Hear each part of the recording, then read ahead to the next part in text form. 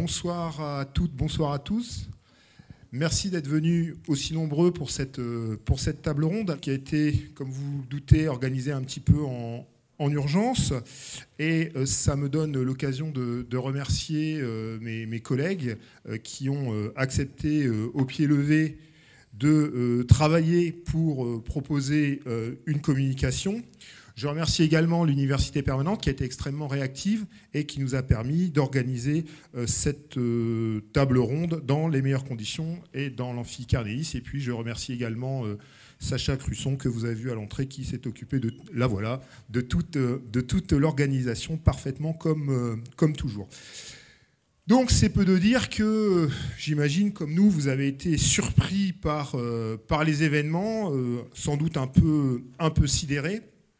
Et euh, euh, dans cette région de, l'Europe que finalement euh, en France nous connaissons relativement peu, nous avons voulu faire un éclairage historien sur cette histoire des relations entre la Russie et l'Ukraine replacées dans une longue perspective, puisque nous commencerons au Moyen Âge pour terminer au XXIe siècle. Alors évidemment, ce qui nous a tous frappés, nous sommes spécialistes de périodes différentes, c'est à quel point certains éléments du passé, plus ou moins récents, se retrouvaient dans la crise que nous connaissons actuellement. Et il nous a semblé euh, important d'apporter cet éclairage sur ces permanences de cette histoire longue des relations entre la Russie et l'Ukraine, entre l'espace russe et l'espace ukrainien, entre les peuples russes et les peuples Alors bien sûr, nous n'avons aucune prétention à l'exhaustivité. Il s'agit simplement de, mettre en perspective, de rendre compte de l'emboîtement des enjeux pour euh, nous permettre de mieux appréhender ce phénomène auquel, c'est le moins qu'on puisse dire, euh, nous ne nous attendions pas. Alors voilà rapidement comment la, table ronde va se, va se dérouler.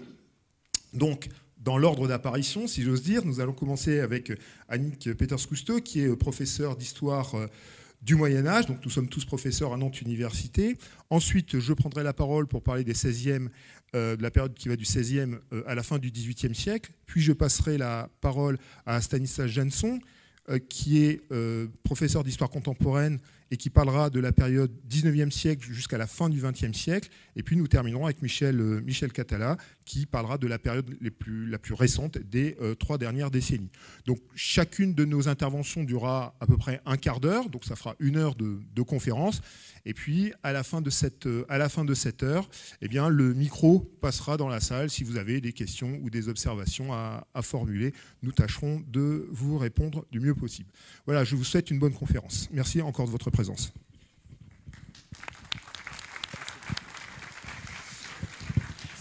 Euh, je remercie beaucoup euh, le directeur du CRHIA, Eric Schnackenbaum, mon voisin de gauche, de voilà, d'avoir proposé euh, une table ronde qui laisse du temps à la profondeur historique qui manque parfois cruellement dans les analyses euh, actuelles sur la situation en Ukraine. Et en effet, même si euh, les événements actuels qui vont vous être éclairés vraiment sur le temps contemporain, puisqu'ils sont largement déterminés par la géopolitique des 20 ou 30 dernières années, eh bien certains éléments du discours de justification du président de la Russie à l'invasion de l'Ukraine relèvent, eux, clairement du champ historique. Une histoire évidemment manipulée et fondée sur la logique des origines qui expliquerait tout. Rappelons que la Russie de Poutine, c'est l'État qui a le plus de lois mémorielles avec la Turquie de Erdogan. C'est-à-dire que le champ historique est particulièrement investi par le registre politique. Alors, on ne les trouve pas, ces raisons historiques. Alors, je vais vous mettre une jolie petite image quand même. Tac. Euh, on ne les trouve pas, qui est la place Maïdan et qui est une, un ensemble sculpté qui célèbre euh, justement ce dont je vous ai parlé, c'est-à-dire la fondation de la Russie euh, de Kiev. Alors, ces raisons historiques, on ne les retrouve pas dans le discours, le terrible discours de déclaration de guerre de Vladimir Poutine mentionnant la démilitarisation et surtout la dénazification de l'Ukraine, entre guillemets, bien entendu. Mais en revanche, on les retrouve dans des discours, des entretiens, des proclamations de Vladimir Poutine, au moins depuis 2014, euh, sinon depuis 2008, et avec une forte intensification depuis novembre 2021. Parmi ces raisons historiques, j'en retiendrai deux parce qu'elles sont de matrice médiévale et évidemment c'est ce dont je m'occupe. Tout d'abord, la première raison, c'est que Kiev et l'Ukraine sont le berceau de la Russie. C'est une référence implicite à ce que les historiens appellent la Russe de Kiev, objet principal de mon propos, et qui donne une légitimité historique à la conquête de l'Ukraine, vue en réalité comme un retour de l'Ukraine dans l'ensemble étatique qu'elle a elle-même fait naître et que les découpages frontaliers euh, contemporains ont injustement malmené.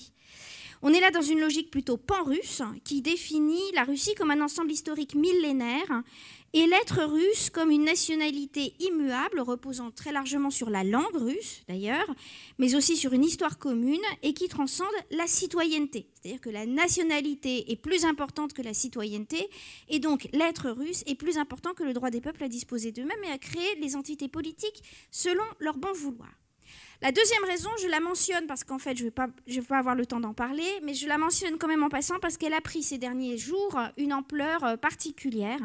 C'est que les Ukrainiens sont les frères des Russes. Ça, c'est quelque chose qui apparaît fréquemment dans le discours de Vladimir Poutine. C'est une rhétorique très chrétienne. Ce sont des frères dans la foi, en réalité. C'est ça qu'il faut entendre.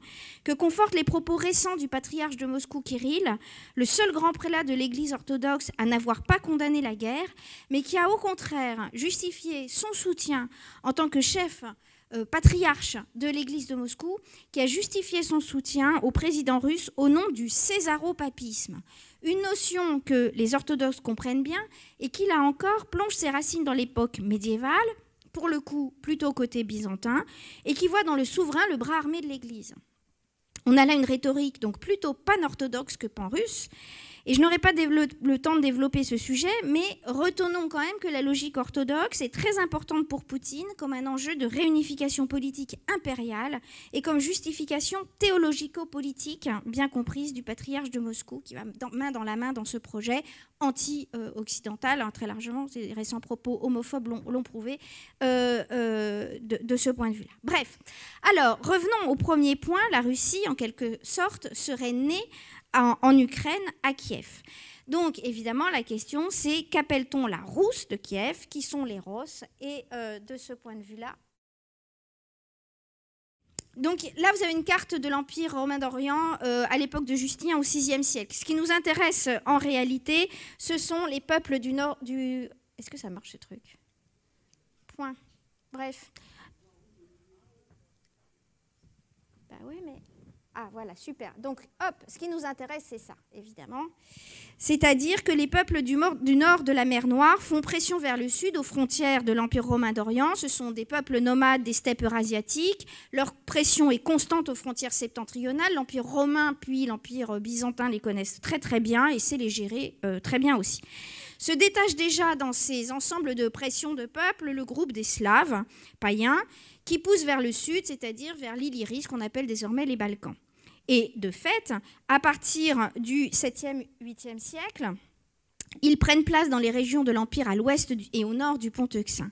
C'est une menace importante car cette invasion engendre la constitution d'un premier État slave, celui des Bulgares, qui sera un des grands dangers frontaliers de l'Empire byzantin jusqu'au début du XIe siècle. Alors, ces mouvements provoquent une slavisation rapide de ces régions. On a malheureusement très peu de sources, voire pas du tout, car eux n'ont pas d'écriture. Et les premiers documents qui les renseignent sont donc en grec, produits dans l'Empire byzantin. Parallèlement, euh, on connaît l'expansion dynamique des circulations de Scandinaves durant l'époque dite viking, que nous, hein, en Occident, on connaît surtout pour leur histoire en Occident à partir du tout, euh, du début du IXe siècle, quand leurs incursions les font découvrir sur les côtes de l'Irlande, en mer du Nord, euh, de l'autre côté de la Baltique, la Frise, etc. Mais ce qu'on sait moins, du moins ici, c'est qu'ils ont le même mouvement vers le sud-est par les voies fluviales. Ils remontent le Dniepr et, la Volga, et certains de ces Scandinaves s'installent euh, de la Baltique à la mer Noire au IXe siècle, tandis que d'autres poursuivent sur leur lancée, traversent la mer Noire et se font recruter comme mercenaires au sein des armées byzantines, et notamment dans la garde personnelle du basileus de l'empereur byzantin. Ce sont donc les sources byzantines contemporaines qui, en grec, fournissent les premières mentions certaines de ces peuples scandinaves, à qui elles donnent le nom de Ross, ou de Vareg, ou de Varange. Alors, depuis le IVe siècle, d'ailleurs, euh, ce qui est important de, voir, c'est que la zone de contact entre l'Empire byzantin et c'est ici et ces Slaves, et c'est scandinave, pardon, c'est la petite péninsule de Chersonèse, que l'on appelle désormais la Crimée, qui s'avance au nord de la mer Noire. De nombreux récits légendaires très postérieurs attribuent à un chef viking scandinave, donc Riurik, la création d'un ensemble centré sur Novgorod et dirigé par la dynastie qui a pris son nom, les Riurikides, rapidement slavisés. De toute façon, les Scandinaves sont connus et réputés pour la facilité et la rapidité avec laquelle ils s'insèrent dans euh, le contexte sociopolitique et culturel où ils s'installent. De toute évidence, les Ross et les Vareg créent un ensemble scandinavo-slave. Inutile de vous dire que les historiens russes ont tendance à contester le rôle des Scandinaves dans la création de l'ensemble politique qu'on appellera ensuite la Rousse de Kiev, en disant que non, non, de toute façon, ils sont très minoritaires et que, en fait, ce sont bien des Slaves qui ont créé cette entité politique. Alors, on rencontre les Russes, Ross, dans les chroniques byzantines en 860 Lorsqu'ils tentent, assez mollement d'ailleurs, à bord de quelques navires, d'assiéger Constantinople, ça fait pas grand peur aux Byzantins, ils sortent même pas le feu grégeois, c'est dire si la menace est de basse intensité. Le patriarche de Constantinople, Photios, leur envoie une mission d'évangélisation en 863 qui n'a pas de lendemain. La Rousse constitue donc un ensemble politique à cette époque assez peu structuré, défini comme un kagana, comme leurs voisins, les Khazars, qui est un peuple semi-nomade turc, qui lui s'est converti en 861 au judaïsme, ce qui est assez original. Au départ centré sur Novgorod, la Rousse déplace son centre de gravité à Kiev en 864, lorsque les Rousses s'emparent de Kiev. Il semble évident désormais que les attaques contre Constantinople de ces peuples, enfin de ces, de ces Russes, visaient largement à forcer les Byzantins à des accords commerciaux. Le premier d'entre eux fut donc accordé aux Russes en 911, suite aux attaques d'Oleg en 907. Et de la même manière, l'attaque russe dirigée contre Constantinople en 941 a abouti à la renégociation des accords commerciaux avec l'Empire byzantin en 944. Alors, en 944, les Russes ont plus que jamais besoin de pouvoir passer par l'Empire byzantin pour atteindre le califat qui est en fait leur principal euh, partenaire de négociation commerciale, parce que leur rupture récente avec les Khazars les a coupés de la route de la mer Caspienne, qui était la route classique pour aller jusqu'au califat. De fait, les accords commerciaux permettent au commerce russe de s'ouvrir le débouché à fort pouvoir d'achat de Constantinople pour écouler les fourrures, le miel, la cire, l'ambre, les esclaves, et pour y acheter les produits de luxe et précieux nécessaires au prestige de leurs élites. D'où vient cette importance de la mer Noire dans le commerce au long cours? Bah, D'une part, de ce que la Chersonèse est un des aboutissements occidentaux des routes de la soie, et d'autre part de ce que, jusque la conquête de la Crète par les Byzantins en 961, le trafic est-ouest en Méditerranée est fortement euh, perturbé par la piraterie arabe, dont la Crète est le QG. Il y a donc un redéploiement des routes euh, est-ouest par le nord qui avantage les voies fluviales vers la Baltique. Ainsi, la Rousse contrôle deux axes euh, de communication majeurs. Euh, la route de la Volga, qui va de la Baltique à l'Orient et qui est euh, figurée sur la carte verte en bleu, et la route en passant par la Caspienne, etc. Et puis la route de la Baltique à l'Empire byzantin, en passant par la mer Noire, que l'on appelle la route des Varanges aux Grecs d'ailleurs. Alors, le truc important, c'est quand même la conversion de Vladimir en 988. Je vous passe sur le récit légendaire, les récits légendaires, bien qu'ils soient vraiment euh, très intéressants, surtout euh, lorsque l'un de ces récits dit que Vladimir aurait envoyé une ambassade à Constantinople et une autre chez les Germains, c'est-à-dire l'empereur Othon, euh, pour assister à la messe et que les premiers sont revenus émerveillés d'une messe à Sainte-Sophie où il y avait de la lumière, de l'encens, des chants magnifiques et de l'or partout, et que ceux qui sont revenus de Germanie étaient un petit peu euh, circonspects et que c'était un peu tristounet. Donc, il a dit, bon alors hop, convertissons-nous au christianisme selon la mode euh, byzantine. La réalité, elle est tout autre. C'est que c'est Basile II, en fait, l'empereur byzantin Basile II, qui a pris l'initiative des négociations. Il était alors en 987 menacé par un coup d'État interne mené par un grand aristocrate byzantin qui s'appelait Bardas Phocas. Et donc il a pris le parti de négocier avec le prince russe Vladimir, qui était pourtant un grand ennemi, lequel exige le mariage avec la sœur de l'empereur Basile II, lequel exige au préalable la conversion, enfin le, baptême de Vladimir, qui accepte, vu l'enjeu, parce qu'un tel mariage lui offrait la prééminence sur tous les autres princes de la steppe. Donc il est baptisé à Kiev. Basile II est maintenu sur son trône impérial de Constantinople. Là où c'est extrêmement important, c'est que la conversion au christianisme est avant tout un geste politique qui permet de faire entrer une construction politique et son souverain dans le concert des nations et de l'intégrer à l'ensemble géopolitique chrétien. Donc la conversion au christianisme orthodoxe, déjà réalisée chez les Bulgares à la fin du IXe siècle, permet non pas d'arrêter les conflits ou de civiliser les mœurs par les valeurs évangéliques, ça serait trop facile, mais permet de capitaliser sur le réseau institutionnel de l'Église byzantine, évêques, métropolitains, prêtres, pour engager un enracinement territorial du pouvoir du prince, permet de bénéficier de la protection euh, impériale byzantine, qui est la première puissance locale, alors que le califat est précisément en perte de vitesse et que euh, la papauté, combien de divisions? Toujours la même question. Permet d'engager un processus d'intégration culturelle qui passe par le développement de l'écriture promue par les missionnaires byzantins euh, et inventée par eux, c'est-à-dire cette écriture qui est un instrument de pouvoir aussi, qui est le cyrillique, euh, qui a été inventé par deux missionnaires euh, byzantins, Cyril et Méthode, qui ont inventé en réalité le glagolitique, bon, je passe les détails, pour mettre par écrit en vieux slavon euh, les évangiles. et de fait, l'une des, des, premières œuvres en cyrillique, c'est la Ruskaya Pravda, c'est-à-dire le premier code de loi russe. C'est donc vraiment un instrument de pouvoir. Enfin, et surtout, ah bah non, mais c'est déjà là. Ah, mais j'avais fait une animation. C'est pas grave. Euh, la conversion permet à la dynastie d'intégrer le grand marché international des alliances matrimoniales des pays chrétiens, c'est-à-dire d'ouvrir le cheptel des épouses à des épouses de très haut rang. Ce qui se vérifia immédiatement, puisqu'effectivement, conformément à l'engagement de Basile II, Vladimir a épousé Anne, la sœur de Basile II, et puis surtout à partir de son fils Yaroslav le Sage, dont les enfants contractent des unions prestigieuses. Et la première d'entre elles, quand même, c'est Anne de Kiev, qui épouse en 1051 le roi des Francs, Henri Ier, ce qui introduit pour la première fois un prénom non germanique dans, euh, chez les Capétiens avec leur fils qui s'appellera Philippe, parce que Anne de Kiev prétend descendre de Philippe de Macédoine, ce qui fait rire, mais ce n'est pas grave. La conversion de Vladimir, c'est donc un événement euh, politique réel de première importance qui accélère la création de la Rousse, certes centrée à Kiev au sud, mais qui comprend donc déjà un territoire vaste, fortement étiré vers le nord, vers Novgorod.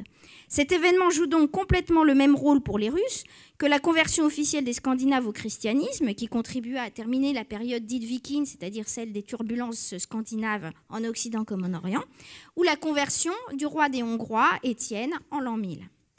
La conversion du prince est d'ailleurs rapidement l'objet d'un discours mythique, et au début du XIIe siècle, la première histoire de la Rousse de Kiev en vieux russe, qui s'appelle la Chronique des temps passés, ou Chronique de Nestor, compilé par un moine Nestor dans la lore des grottes de Kiev, amplifie largement le substrat légendaire des origines de la Rousse kievienne en insistant sur ce baptême et en donnant toutes les légendes dont je vous en ai passé une bonne partie, notamment sur la négociation entre est-ce que je me convertis à l'islam, est-ce que je me convertis au judaïsme ou est-ce que je me convertis au christianisme. J'irai vite sur la suite puisque c'est la, question de la mythologie historique qui m'intéressait euh, ce soir. Donc toujours est-il que la Rousse est au XIe siècle un État très important qui connaît un développement politique et culturel considérable et qui est complètement intégré à la géopolitique internationale. Sous le règne de Yaroslav le Sage, euh, entre 1019 et 1054, on a un apogée territorial net avec cette construction politique qui s'étend du lac Ladoga à la mer Noire. La suite est moins brillante. Euh, en raison des divisions politiques internes, de la compétition entre Kiev et Novgorod et de l'affaiblissement commercial de Kiev à partir de 1204, euh, tandis que Novgorod capte les circuits commerciaux de la Baltique et de la Volga. Et c'est donc dans ce contexte qu'en gros le centre politique de la, de, la Russie, kievienne, bascule de Kiev à Novgorod hein, au XIIIe siècle. À partir de l'invasion mongole, la recomposition politique se joue encore en faveur de Novgorod, dont le prince Alexandre Nevsky, après avoir vaincu les Suédois sur la Neva en 1240, paf, et les chevaliers teutoniques sur le lac Peipus, euh, pris dans les glaces en 1242, avec l'aide des archers mongol, est investi comme grand prince de Kiev par le camp de la Horde d'Or, Batou, en 1249. Les Mongols, de toute façon, à ce moment-là, contrôlaient Kiev. De la succession d'Alexandre Nevsky, plus tard, en 1272, naît la Moscovie, ou principauté de Moscou, qui est véritablement l'état fondateur de la Russie moderne. Donc pour conclure mon bref propos, décréter que Kiev, et donc l'Ukraine, est le berceau de la Russie est un choix politique et non historique. C'est considérer implicitement que la fondation de l'État russe est associée à Vladimir, premier souverain russe chrétien. L'alternative pourrait être, en effet, et le fut d'ailleurs, de se concentrer non pas sur Kiev, devenue capitale de l'Ukraine, mais euh, ultérieurement, mais sur la fondation de la Moscovie, liée à la fois à la résistance aux chevaliers tétoniques et à la dynamique de conquête des Tatars de la Horde d'Or et leur invasion de la Russe de Kiev. Mais c'est moins glorieux, puisque la principauté est née d'un accord de vassalité qui l'a placée sous l'autorité des Mongols. Certes, cette histoire rencontrait celle des origines du premier tsar, Ivan IV, dit le Terrible, au XVIe siècle mais écarté, car la Russe de Kiev a l'avantage de fournir des arguments à une définition du peuple russe qui transcende la liberté des peuples à disposer d'eux-mêmes, en décrétant que la nationalité, qui reposerait sur l'histoire, la langue, voire la foi, dépasse la citoyenneté, et donc de justifier la captation de l'Ukraine.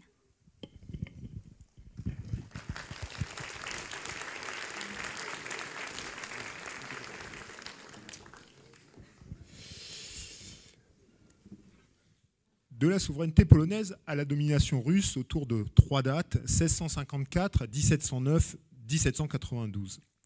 Alors,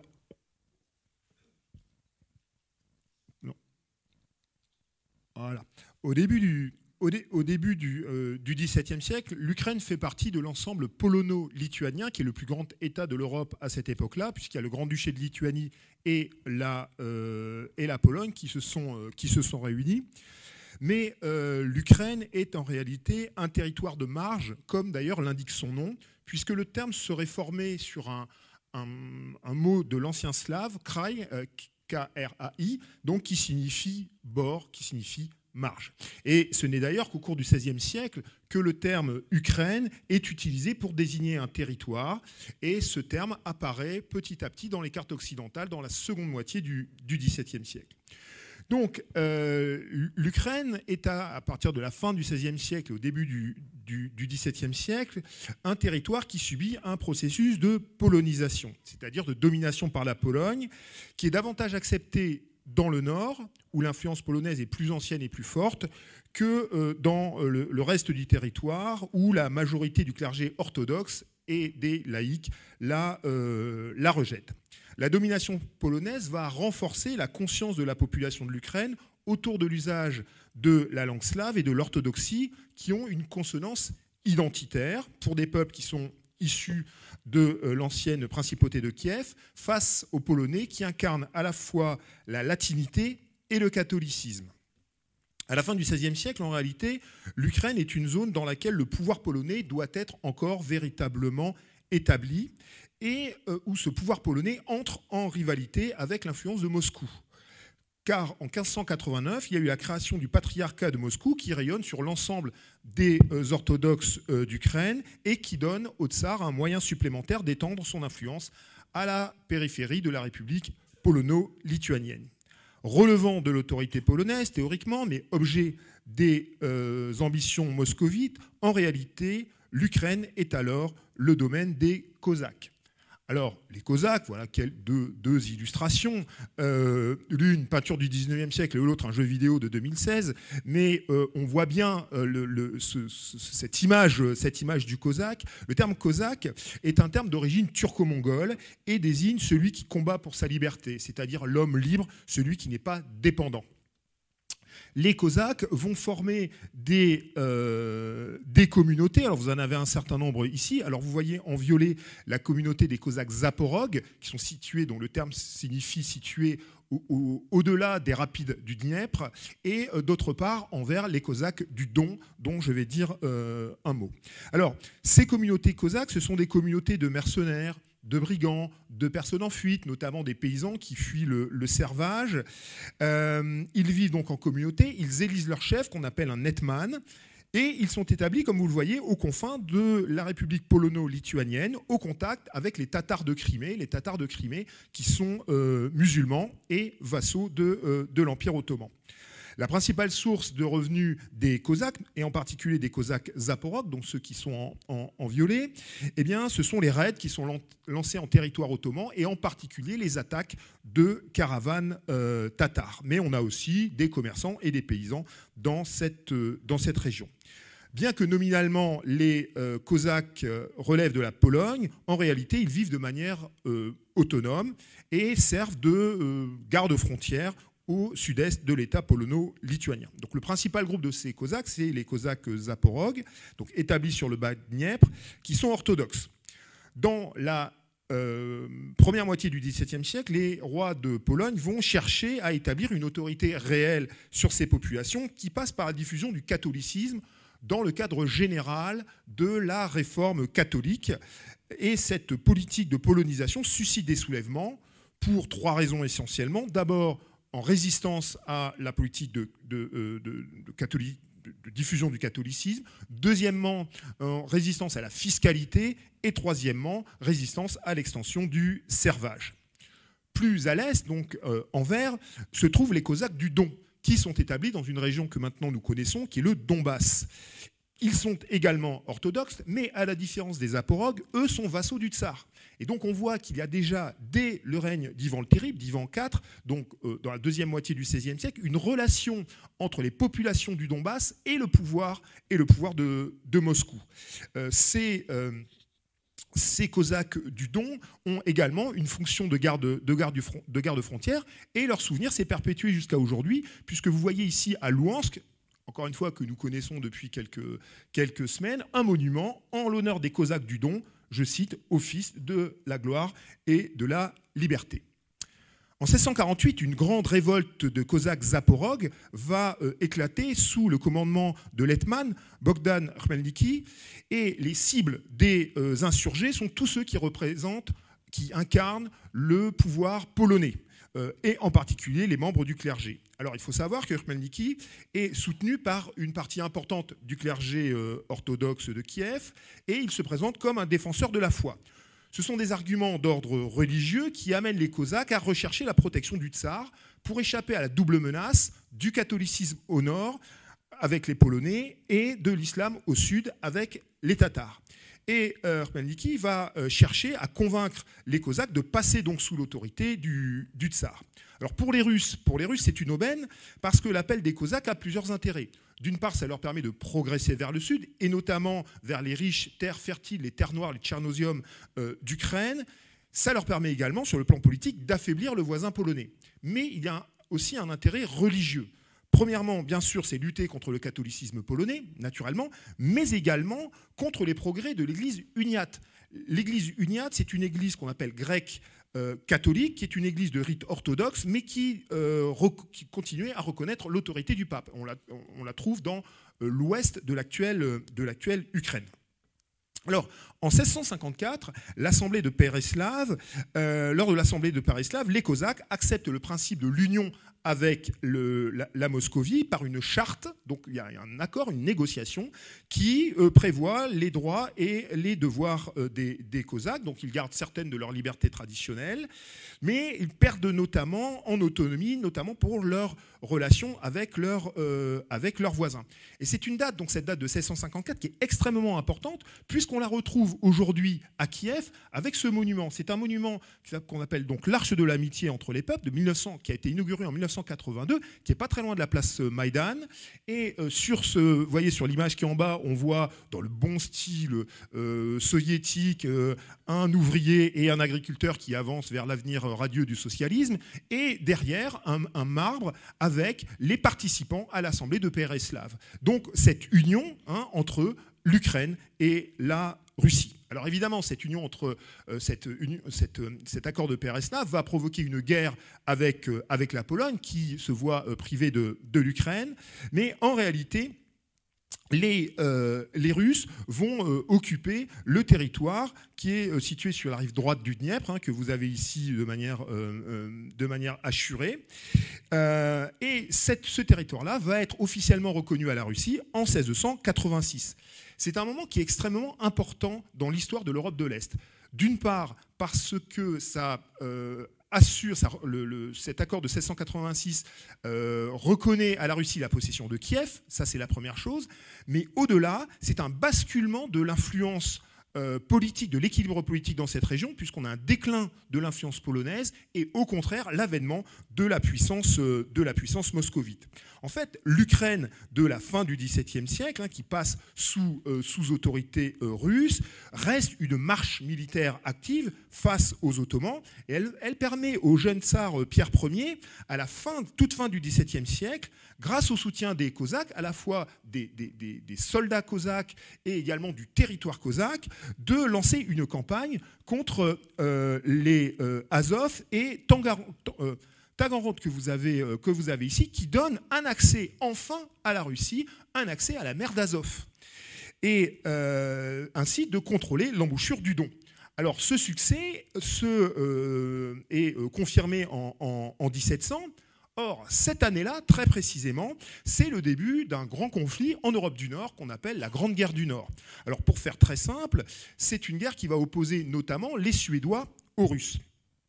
Les euh, Cosaques vont euh, combattre au début de la guerre du côté des Russes, mais euh, le roi de, de Suède, Charles XII, va tenter une offensive pour aller prendre Moscou.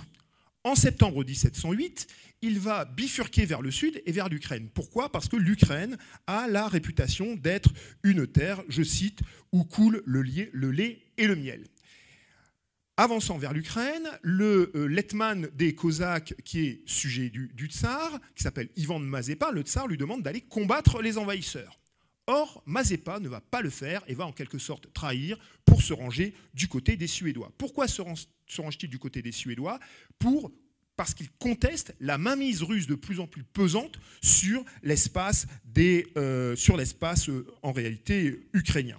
Alors, les Cosaques se joignent aux Suédois et participent avec eux à la grande bataille de Poltava, qui a lieu, donc Poltava qui est une ville d'Ukraine, hein, le 8 euh, juillet 1709. Et ce qui est intéressant, c'est qui est une défaite cinglante pour les Suédois. Et ce qui est intéressant, c'est de voir le sort qui est, qui est réservé aux vaincus. Les Suédois qui sont vaincus sont faits prisonniers. Les Cosaques qui sont vaincus et arrêtés par les troupes russes sont tous exécutés car ils sont considérés comme des traîtres. En réalité, avec cette victoire euh, à la fois sur les Suédois et sur les Cosaques, eh euh, Pierre euh, Ier, Pierre le Grand, va lancer une politique de russification en Ukraine et surtout mettre fin à l'autonomie cosaque. Mais pour les Russes, les Cosaques ont un intérêt bon, la suite du XVIIIe siècle, c'est euh, de pouvoir les aider à lutter contre l'Empire ottoman. Et il va y avoir toute une progression des Russes vers euh, le sud de l'Ukraine, avec notamment, euh, comme vous le voyez ici, la fondation du gouvernement de la Nouvelle Serbie. ce gouvernement de la Nouvelle Serbie, donc, qui est officiellement créé en 1752, va accueillir des populations en particulier des populations slaves, des populations orthodoxes, qui reçoivent une aide pour s'installer sur les terres, des, exonérations euh, d'impôts, mais en revanche, ils, ont, ils doivent former des régiments frontaliers pour faire face aux, euh, pour faire face aux Ottomans. C'est surtout sous le règne de l'impératrice Catherine II, la grande Catherine, donc entre 1762 et 1796, que la politique russe vers le sud va véritablement se manifester avec l'ambition, et c'est encore des choses qu'on retrouve, de gagner un accès sécurisé à la mer Noire. En 1764, elle établit le, gouvernement de la Nouvelle-Russie, euh, qui euh, donc euh, remplace la Zaporozhia que vous avez ici en, jaune. Il s'agit à la fois de faire de, de cet espace un front militaire, mais également un espace de colonisation au sud de l'État russe. Et ça correspond bien au centre et au nord de l'actuelle Ukraine. L'objectif étant bien sûr d'arriver sur les rivages de la mer Noire, et dès lors, le principal obstacle pour les Russes, c'est le Khan de Crimée. Donc l'Empire ottoman et la Russie vont être en guerre à plusieurs reprises au XVIIIe siècle, je ne rentre pas dans les détails. Une paix importante, c'est la paix qui est signée en 1774, car euh, elle permet aux Russes d'obtenir, le petit territoire qui est, euh, qui est en rouge. Donc ils se font reconnaître d'une part, donc à l'est, le Don, euh, l'embouchure du Don avec Azov, et d'autre part, grâce au territoire qui est en rouge, l'embouchure du Dniepr. Dès lors, les Russes gagnent un accès à la mer Noire et également le droit de passer les détroits russes pour entrer en Méditerranée. De son côté, et ça c'est très important, la Crimée, le Khan de Crimée, devient indépendant, donc n'est plus vassal officiellement de l'Empire ottoman. Euh, en réalité, c'est un, processus d'affaiblissement de la puissance ottomane dans la, dans la région. Et on voit que dès le lendemain de la paix, enfin l'année suivante, en 1775, l'impératrice, qui mate d'ailleurs la grande révolte de, de Pougatchev, des, des, Cosaques de, l'Oural, eh bien, euh, l'impératrice Catherine II va euh, pousser là, euh, davantage la, politique de russification. Grâce, elle va confier la région, donc le gouvernement qui est désormais le gouvernement de Nouvelle-Russie, euh, à euh, son favori Grégory Potemkin, et qui va procéder à une, mise en place d'une administration russe avec la suppression de l'Etmana, avec la suppression également de la Sich. La Sich, c'est la capitale des, des, des, Cosaques, donc les deux piliers politiques de la vie cosaque sont supprimées, on voit dès le lendemain de la guerre, donc en 1775, avec une intégration des territoires cosaques, avec une politique de russification, notamment l'interdiction d'utiliser le terme Ukraine, et euh, également la création d'instituts d'enseignement de langue russe. On a également la fondation de villes, et notamment une ville dont on a parlé ces derniers, ces derniers jours, c'est la ville de Kherson. Euh, la ville de Kherson, qui est fondée en 1778, et vous avez ici un, plan, un croquis, qui est dessiné par un, par un marchand euh, marseillais euh, qui se rend sur place, qui s'appelle Antoine Antoine, et qui fait ce croquis. On voit bien qu'il y a des installations militaires, donc c'est bien cette idée que l'Ukraine est un front véritablement face à l'Empire ottoman. Cette politique, bien sûr, se fait sous la, contrainte et euh, les Cosaques réclament, mais sans oser se révolter, leurs droits euh, traditionnels. Un autre voyageur français qui est allé dans la région qui s'appelle Pierre-Claude Potera, euh, rapporte en 1780 des témoignages qu'il a reçus, je cite, Tous les Cosaques, sans exception, avaient un profond mépris et une haine inexprimable pour les Russes. En 1783, quelque sorte, ce qui devait arriver arriva, et les euh, Russes vont s'emparer de la Crimée, vont annexer la Crimée, comme ils l'ont fait en 2014. Alors cette annexion, cette première annexion de la Crimée, a vraiment un écho contemporain, parce que les populations tatars qui étaient sur place, il y a celles évidemment qui sont massacrées, et puis il y a celles qui vont se réfugier dans l'Empire ottoman. Finalement, la péninsule de Crimée se, se retrouve en partie dépeuplée, et donc il faut bien la peupler, et on va faire venir des Russes pour peupler cette péninsule de Crimée. Et ça explique pourquoi, enfin c'est un des facteurs qui explique euh, pourquoi aujourd'hui en Crimée, il y a 90% de russophones. Et donc ce qui a justifié, entre guillemets, l'annexion de la Crimée en 2014. La colonisation de l'Ukraine et de la Crimée est pour les Russes un processus de civilisation et de russification par l'installation donc de, populations russes. il y a vraiment un effort de développement. Et c'est là qu'en 1787, il va y avoir la visite en Crimée de Catherine II et de l'empereur Joseph II, et euh, Grégory Potemkin, pour faire croire que le territoire était extrêmement développé, eh va faire ces fameux décors de théâtre, va endimancher les paysans, d'où l'expression que vous connaissez de village Potemkin. Donc ça date de cette, euh, de cette année 1700, 1787. Alors finalement, à l'issue d'un nouveau conflit, en, 1700, euh, en 1792, eh bien, les Russes ont se voient reconnaître non seulement la possession de la Crimée, mais également et euh, euh, ils obtiennent un nouveau territoire avec la ville d'Odessa, qui est, d'après ce que l'on peut dire, en tout cas l'un des objectifs, l'un des prochains objectifs de l'armée russe, la ville d'Odessa, qui est fondée en 1794 euh, pour être Odessa, pour être le grand port de commerce, le grand port militaire russe, et qui, qui était le grand port de euh, commerce de, de l'Ukraine, donc ce qui confirme les ambitions de la Russie dans cette région. Alors finalement, finalement en vraiment deux mots de, conclusion, on voit bien que l'histoire des rapports entre la Russie et l'Ukraine de la fin du XVIe siècle à la fin du XVIIIe siècle, c'est bien l'histoire d'une soumission progressive que l'on voit ici en jaune avec les dates et la progression russe en quelque sorte. C'est un processus d'intégration qui, à bien des égards, relève d'un modèle colonial. N'oubliez pas que ce territoire s'appelle la Nouvelle-Russie, comme on a la Nouvelle-Angleterre, comme on a la Nouvelle-France. Il s'agit bien donc d'un processus de type euh, colonial et qui s'inscrit dans une dynamique pluriséculaire de progression des Russes pour gagner un accès aux mers chaudes. Mais au-delà, plus généralement, la mainmise sur l'Ukraine relève, en particulier pendant le règne de Catherine II, d'une politique expansionniste générale de la Russie vers l'ouest et vers le sud. Je vous remercie de votre attention.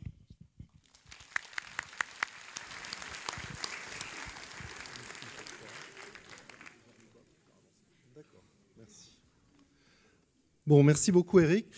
Donc à mon tour de, prendre la suite chronologique de cette série de conférences et euh, j'ai un quart d'heure donc pour parler euh, de la Russie et de l'Ukraine au XIXe siècle et euh, durant la grande majorité du XXe siècle, puisque je vais m'arrêter en fait à la fin de l'Union soviétique en 1991. Donc c'est évidemment impossible en un quart d'heure de parler de tout ça, surtout qu'on a affaire quand même à des relations souvent conflictuelles et dramatiques. Donc j'ai choisi d'insister simplement sur quatre moments, quatre moments clés de ces relations et euh, des moments auxquels euh, la situation actuelle fait euh, particulièrement écho.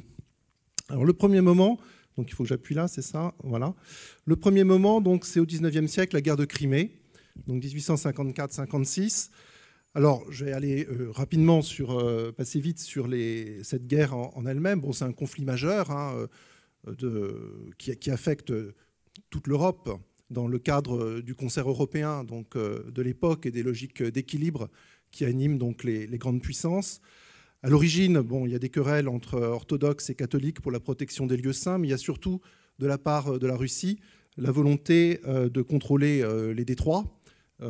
Eric Schnackenburg l'a dit tout à l'heure. Bon, toute l'histoire du 19e siècle et aussi du, 18, du 18e et du 19e siècle, c'est une histoire de conflit dans cette région entre la Russie et l'Empire ottoman. Et donc, euh, face à cette volonté euh, des Russes de contrôler les détroits, il se forme une coalition hein, des pays d'Europe, de la plupart des pays d'Europe, en tout cas des grandes puissances, contre la Russie, notamment donc euh, de la France et de la Grande-Bretagne, qui viennent en aide à l'Empire ottoman pour maintenir la stabilité géopolitique de la région. Alors, c'est une défaite cuisante pour la Russie que cette guerre de Crimée. La Russie qui perd donc le territoire ici que vous voyez de la Bessarabie, hein, qui est un territoire important parce que ici vous avez euh, les bouches du Danube. La Russie qui perd aussi, euh, qui, déplore 400 000 morts quand même. Hein. c'est une guerre très, violente hein, que cette guerre de Crimée. Donc 400 000 morts côté russe. Alors il y a des conséquences à la fois locales et régionales, et puis des conséquences au niveau national. Alors sur le plan local, comme Eric l'a rappelé, la Crimée, elle est russe depuis 1783.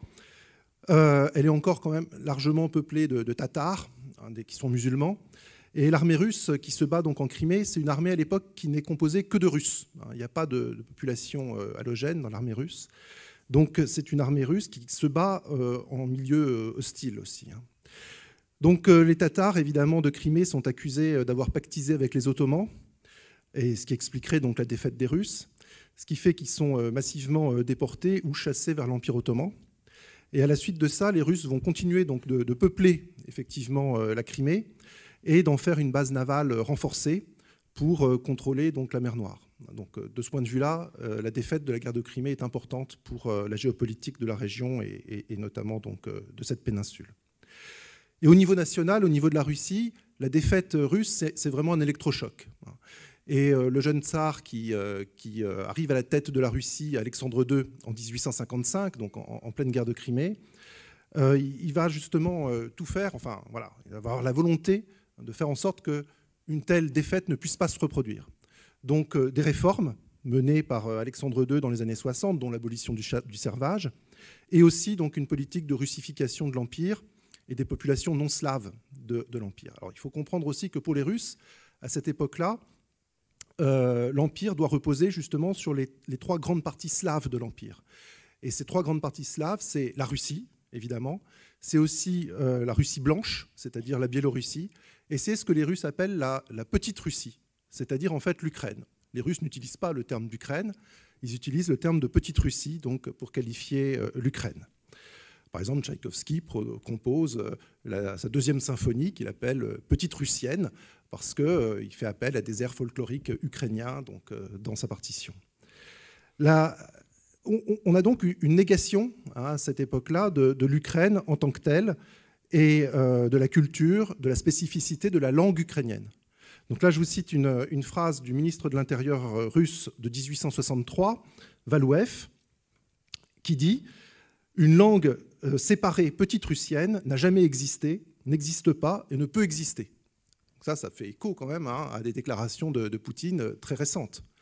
Et on dit toujours qu'actuellement, enfin on dit souvent que Poutine veut rétablir l'empire soviétique, l'URSS. Non, hein, son objectif c'est ça, c'est l'empire russe d'avant 1914, essentiellement, enfin d'avant 1917. C'est surtout ça. C'est surtout ça, cette logique qui l'anime. Alors c'est dans ce contexte aussi que, en Ukraine, euh, on assiste à un éveil des nationalistes, euh, du nationalisme ukrainien.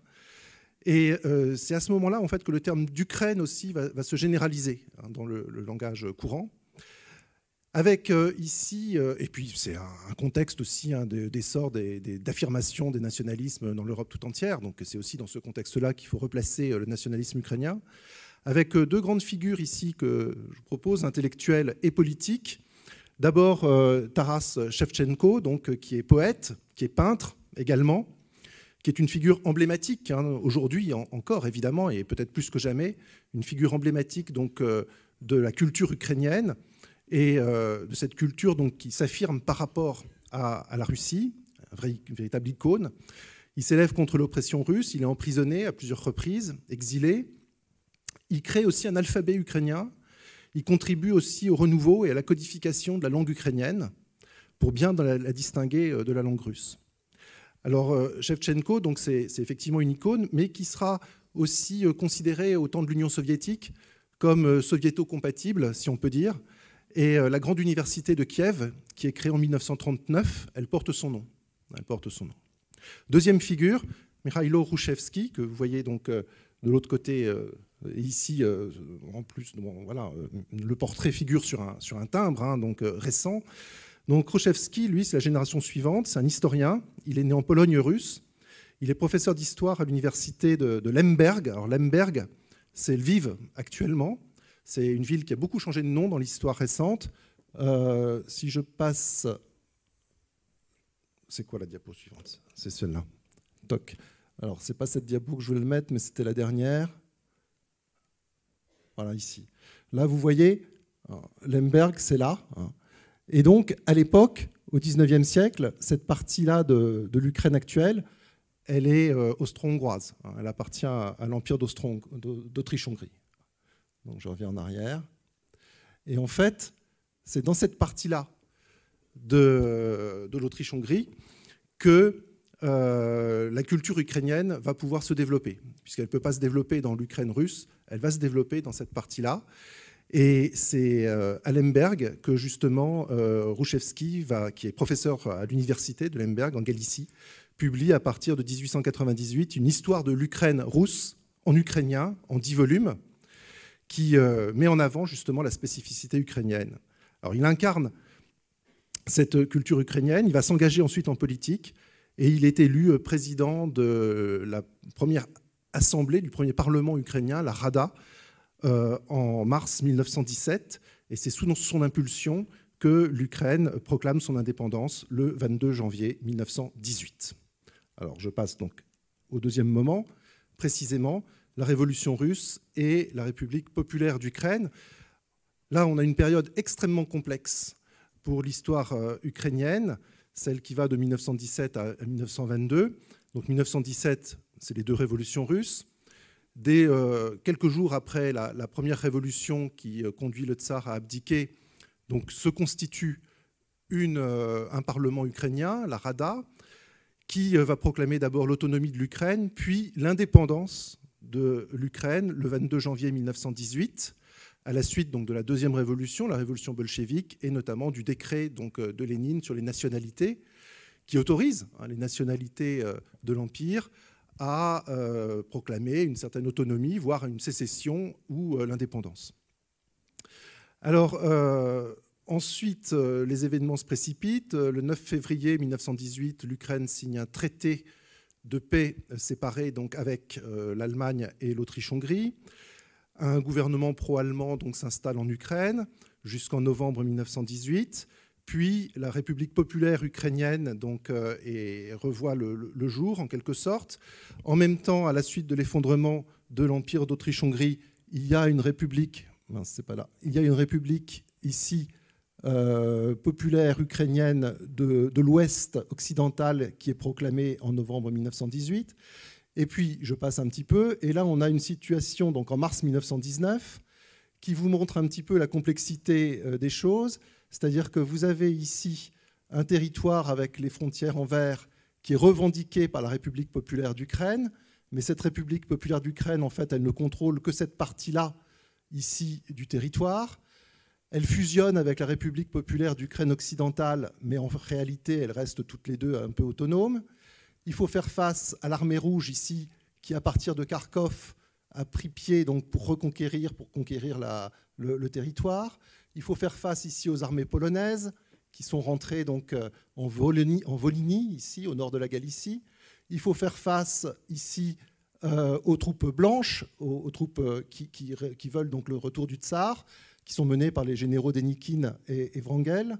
Et puis ici, vous avez euh, des corps expéditionnaires français donc, qui ont débarqué à Odessa, des corps expéditionnaires britanniques aussi qui ont débarqué un petit peu plus euh, à, l'est.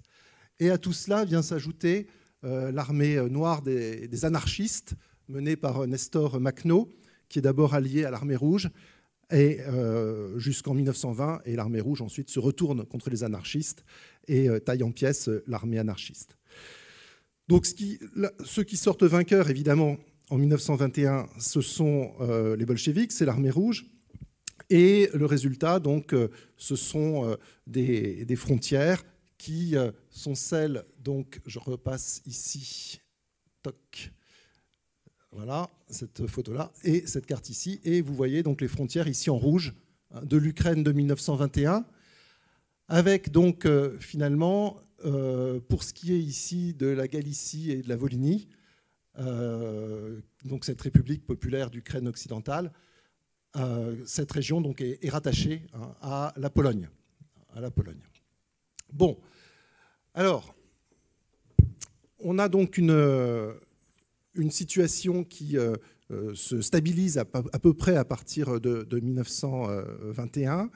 1922, c'est la création de l'Union soviétique, euh, une autonomie des, républiques hein, qui est euh, proclamée, affirmée. Et euh, dans les années 20, il y, a une certaine autonomie, hein, de fait, hein, de, ces républiques. Les Russes euh, apparaissent, ou en tout cas la propagande russe donc, fait apparaître l'intervention de l'armée rouge comme celle d'une armée libératrice. Vous voyez ici, hein, l'armée rouge ukrainienne donc libère son peuple, voilà, en 1919. Et euh, l'Ukraine, dans les années 20, pour la Russie, et pour l'Union soviétique, c'est effectivement le principal appui sur lequel la Moscou va, pouvoir compter. Euh, la nouvelle politique économique, la NEP, c'est une période de relative prospérité économique et intellectuelle pour euh, l'Ukraine. Kiev devient la capitale de l'Ukraine à ce moment-là. Euh, et les cadres du Parti communiste sont des Ukrainiens pour la plupart. Donc, et c'est désormais hein, en, Galicie, en fait, c'est plutôt la, Galicie qui subit hein, la, polonisation en quelque sorte, et euh, l'expression de la culture ukrainienne est, plus importante, plus forte, hein, sans, doute, hein, dans la partie euh, soviétique que dans la partie euh, polonaise en quelque sorte.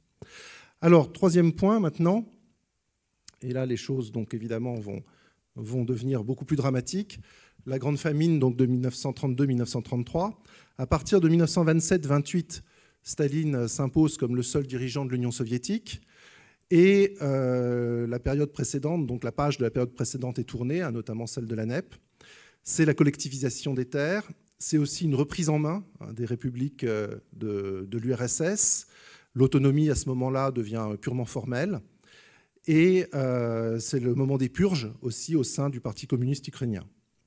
Alors l'Ukraine est directement victime de la collectivisation parce que c'est une région agricole riche, hein, avec des terres fertiles, le grenier à blé de l'Union soviétique, c'est la formule qu'on utilise souvent.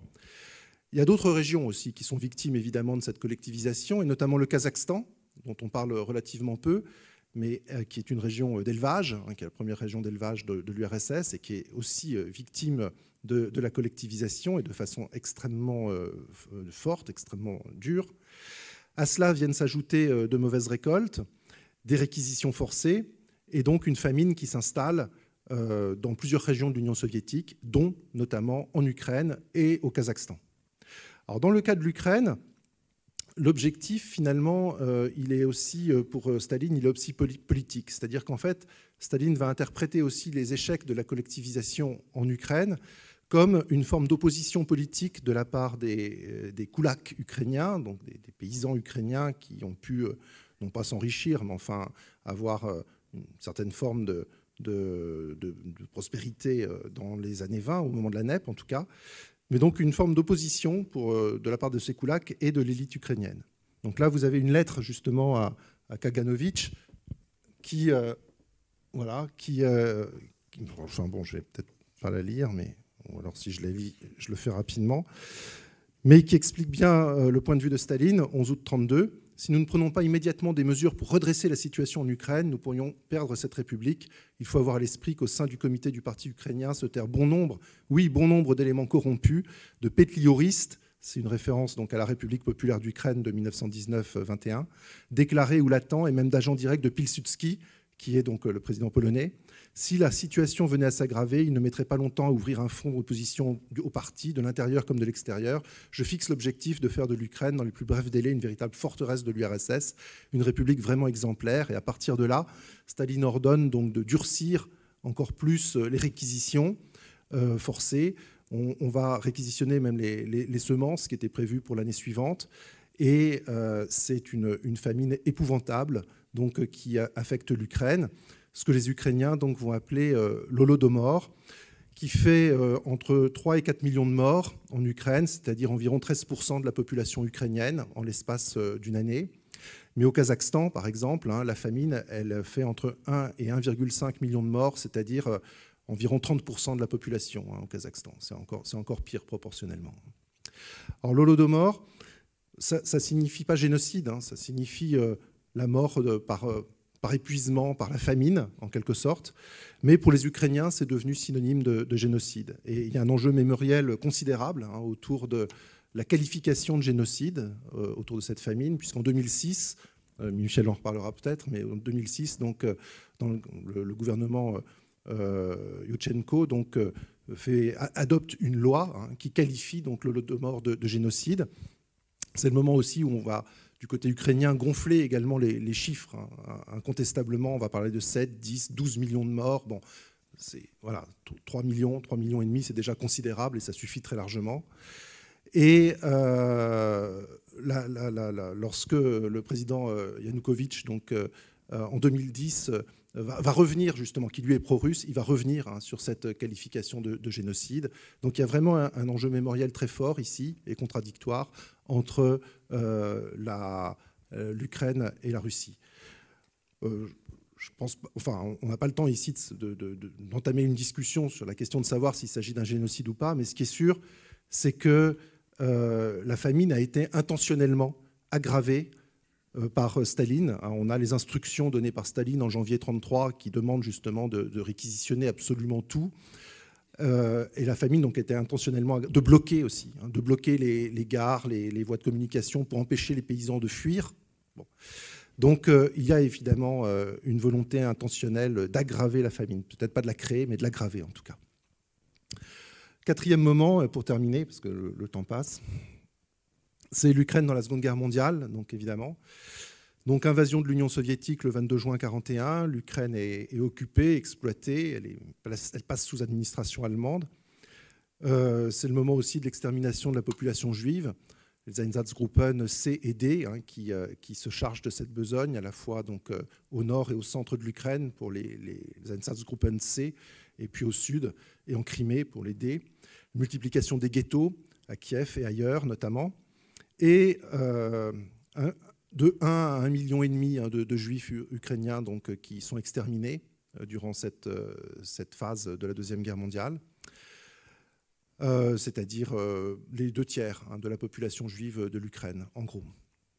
Et une propagande allemande qui va présenter Hitler en libérateur, avec quand même un certain nombre d'Ukrainiens hein, qui vont accueillir euh, favorablement l'Allemagne nazie et qui vont participer aussi euh, au génocide,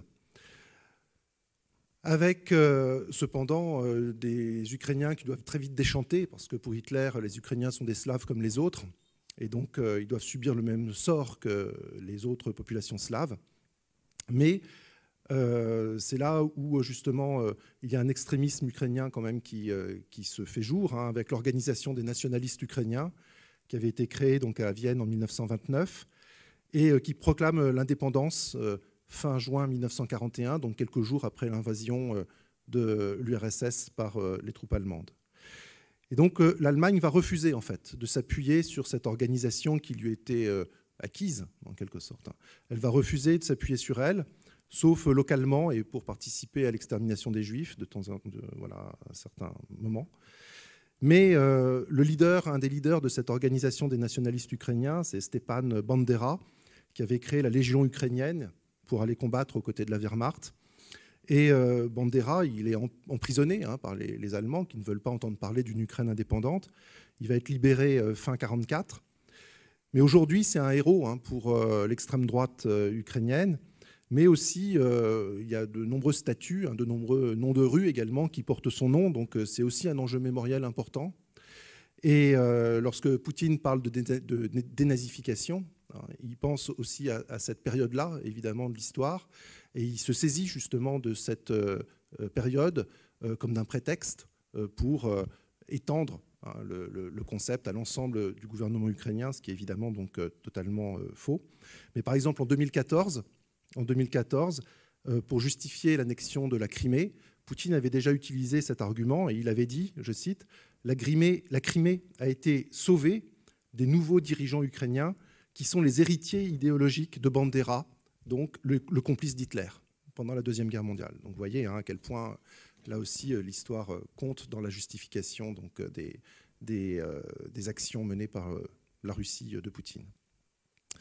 Donc à la sortie de la guerre, enfin, c'est dernière, euh, dernière diapo, à la sortie de la guerre, donc euh, l'Ukraine bénéficie quand même d'agrandissements territoriaux, hein. c'est-à-dire que donc euh, mince, c'est là.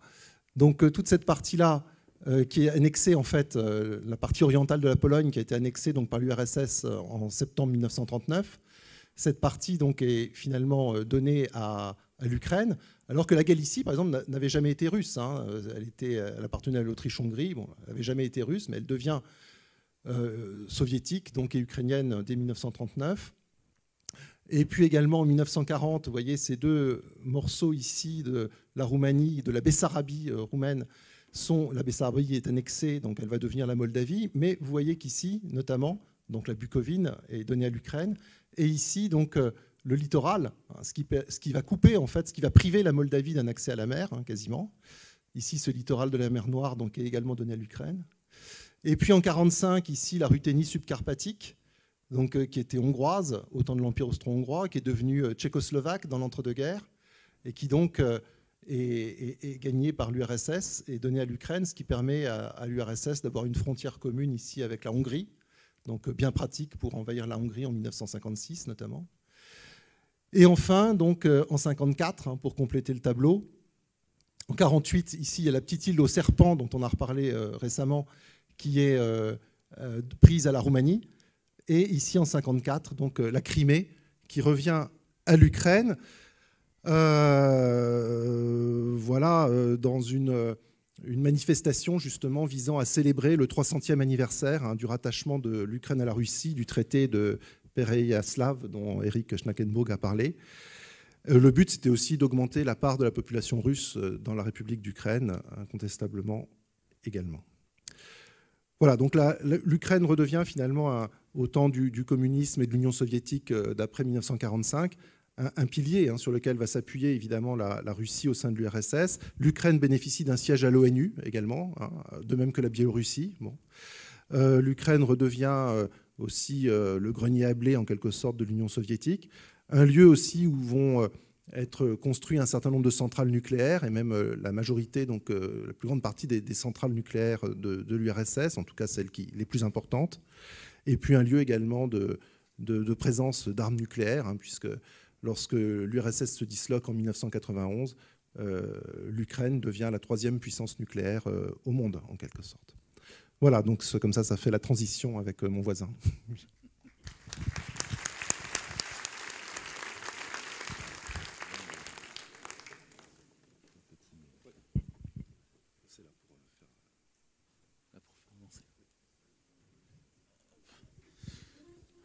Merci.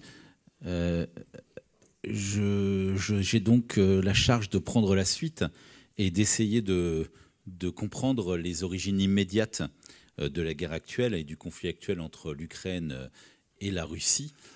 donc moi, je ne serai pas sur le temps long, hein. je vais être sur un temps plutôt court, sur une histoire très immédiate et donc forcément provisoire un peu, hein, et en essayant également de, euh, dégager euh, quelques grandes idées euh, sur cette évolution depuis maintenant un petit peu plus de 30 ans autour de quelques dates essentielles.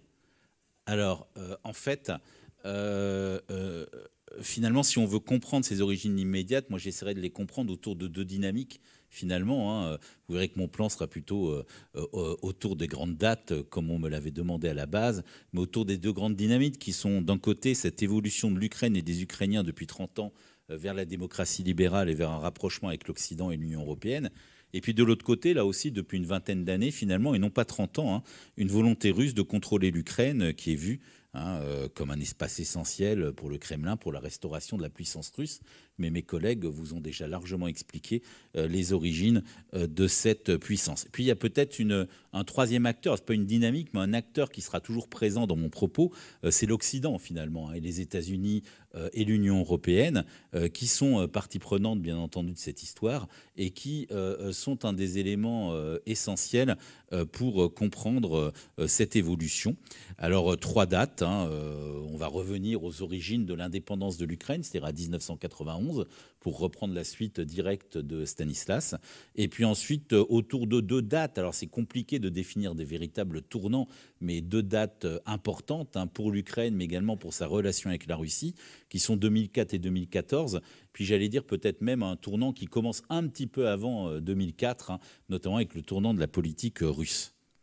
Alors, l'indépendance de l'Ukraine en, en, 1991, vous voyez, donc on commence au-delà de ces 20 ans, Hein, aux origines euh, du problème, euh, puisqu'aux origines du problème, il y a bien cette nouvelle indépendance de l'Ukraine.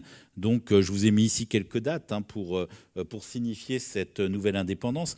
Stanislas vous l'a dit, l'Ukraine est un élément essentiel hein, pour, dans l'ancienne Union soviétique. Alors, certes, la Russie, c'est l'essentiel de la population et l'essentiel du territoire, mais après la Russie, l'Ukraine est la république la plus importante dans l'ensemble, économiquement, démographiquement, politiquement, militairement, et bien entendu, hein, euh, pour euh, son, son, son histoire commune avec la Russie.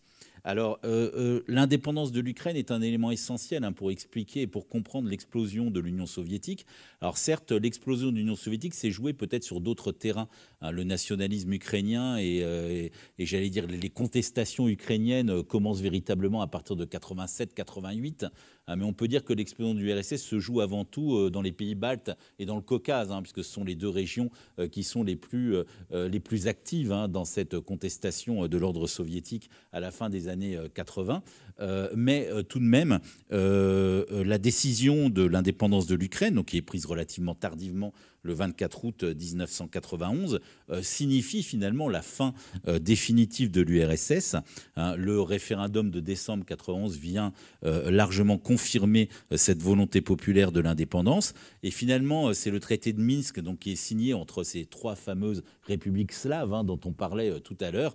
la Biélorussie, représentée par Chouchkevitch, donc Kravchuk, le président ukrainien de l'époque, et Boris Eltsine. Vous les voyez tous les trois hein, sur cette table Kravchuk est le, deuxième à partir de la gauche hein, sur la photo. donc c'est finalement E3 hein, qui signifie la disparition de l'URSS par la signature de ce traité. Hein, parti d'ailleurs sur le, sur le principe de tout ce qui est à toi t'appartient finalement, et donc sur une, répartition, sur une, sur une non-contestation des frontières, y compris d'ailleurs un non-déplacement de l'arsenal nucléaire, par exemple, qui va être réglé ensuite postérieurement. et c'est à nouveau les trois avec d'autres républiques qui, qui signent euh, euh, la création de la CUI, la communauté des États indépendants, hein, qui est un autre, euh, une sorte de, prolongation d'une volonté hein, de maintenir une coopération entre, entre ces républiques. Alors je vous ai mis en bas une citation hein, de l'ancien conseiller Jimmy Carter qui est très connu, qui date de 1997 dans un livre de géopolitique, qui est un peu facile et très réductrice, mais qui est, je pense, intéressante tout de même pour notamment euh, euh, comprendre la vision de la situation aussi par les Américains et par l'Occident. Hein. Euh, cette phrase qui dit l'Ukraine pivot géopolitique sans lequel la Russie cesse d'être un empire pour devenir un État.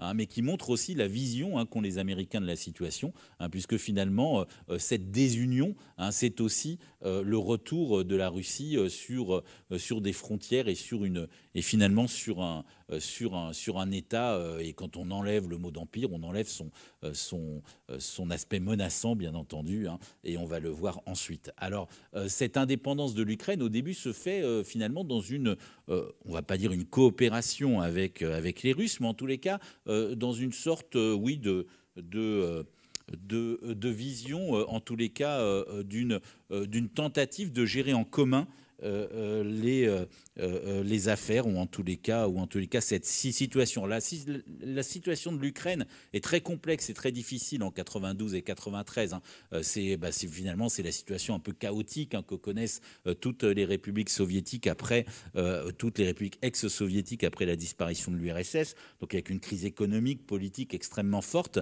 qui conduit d'ailleurs à la, remise en cause finalement du pouvoir de l'ancien président à l'élection de Leonid Kouchma comme président en juillet 1994 avec une courte majorité, mais euh, Kouchma qui, euh, qui représente le digne héritier hein, de son prédécesseur et qui euh, finalement passe aussi grâce au vote des régions russophones hein, qui sont très remontées contre l'État central et notamment la contestation hein, s'est jouée en 92-93, notamment avec les fameuses grèves des mineurs du Donbass qui sont les plus, remontées contre le pouvoir central.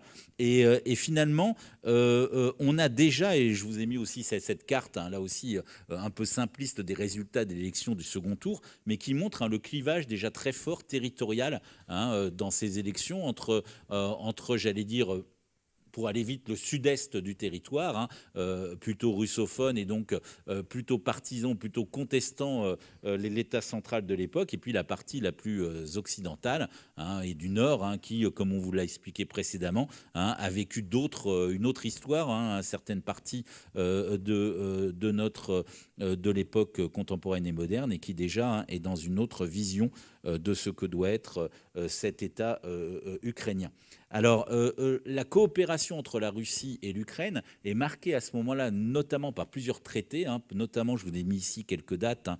Euh, le, le, mémorandum du 5 décembre 1994 de Budapest, qui est un mémorandum qui, en fait, euh, permet, euh, prévoit euh, que l'Ukraine, la Biélorussie, le Kazakhstan, qui sont les trois républiques qui possèdent toujours des armes nucléaires à la suite de la disparition de l'URSS, que ces trois pays finalement adhèrent au traité de non-prolifération et abandonnent leurs armes nucléaires, soit en les détruisant, soit en les rendant à la Russie, hein, qui est vécu comme l'État successeur de l'URSS, et avec un engagement hein, qui est négocié par les Ukrainiens, avec d'ailleurs l'accord des Américains et des Anglais hein, qui font partie de cet accord et qui signe également ce mémorandum, hein, qui est un engagement finalement de, de sécurité, hein, d'inviolabilité des frontières et de sécurité hein, et de non-attaque euh, par, par les puissances nucléaires euh, de ces trois euh, États. Donc ça marque la volonté de coopérer en tous les cas et de maintenir cette coopération. Et le traité d'amitié qui est signé en 1997, toujours avec un Léonid Kouchma qui est, finalement très proche